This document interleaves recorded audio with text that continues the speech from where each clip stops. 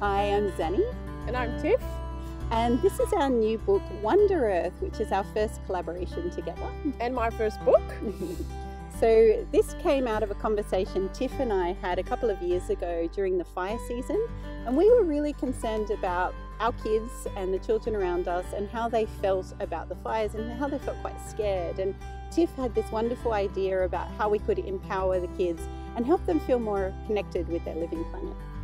So through the book, we visit different themes of um, to do with our Earth home and how things work and how we're connected to them, like the sun and water. You can see it all right, uh, and food. So food comes from plants and often from flowers, and um, and on each uh, page as well, there's an activity that connects in with the theme of that page. So you can do that at home and have a great time connecting in with nature. And there's one on every page, and then that is actually linked again to at the back of the book. There's um, a lovely science reference section. So the book is a creative exploration, and the science is included um, at the back, uh, and it's about our ecological, building ecological literacy, so understanding our earth home and how it works. Yeah, so basically, uh, well, Tiff has been an environmental educator for 15 years.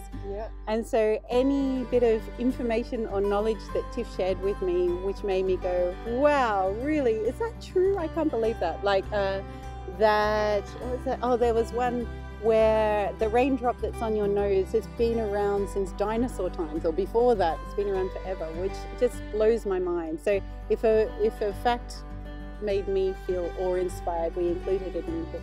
Yeah.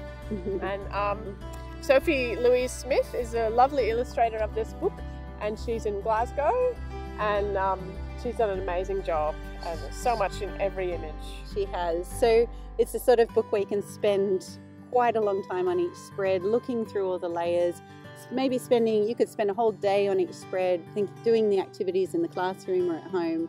So we're really proud of how this book's come together. It's been beautiful to do this collaboration with Tiff. So yes. we hope you can find this book and it will be useful in your home or in your classroom. It's been so much fun. we hope you enjoy it.